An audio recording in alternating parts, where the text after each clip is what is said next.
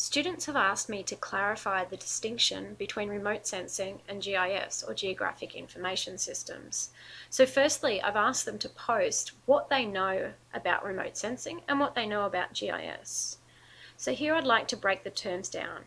So remote sensing is all about gathering information or sensing something from a distance or being remote. Whereas if we break down the term GIS or Geographic Information Systems, what I'd like to do is firstly look at the word system. We can consider all sorts of different systems, be it the musculoskeletal system, our circulatory system, any, any other systems in our body or in the outside world. And basically what it means is that it's a connection of different parts moving together.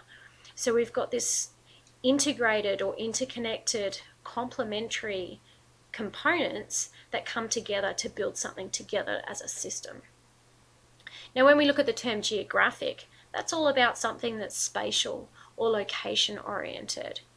And then our final term within GIS there is information. So it's about collecting data and providing knowledge about something.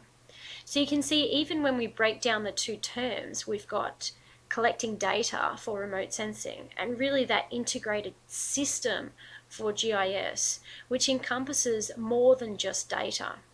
And if we look at it in a little bit more detail and the actual definition of GIS, it's really all about people, software, hardware, data, and methodologies coming together to provide a complete package, if you like, which is really where that system concept comes from.